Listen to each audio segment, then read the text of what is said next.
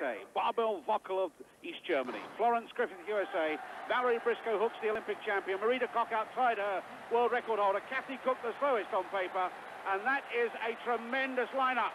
Marita Koch comes off the bend the better. In the East-West Clash this evening, we've seen Evelyn Ashford win. This is very fast indeed. Barbara Wöckel's going to chase her, but there's a big gap growing, and that's a very fast time, and it's 21.88. That is a remarkable run. And she was followed home by Barbel Wöckel. both the East German girls finishing ahead of the American Olympic champion.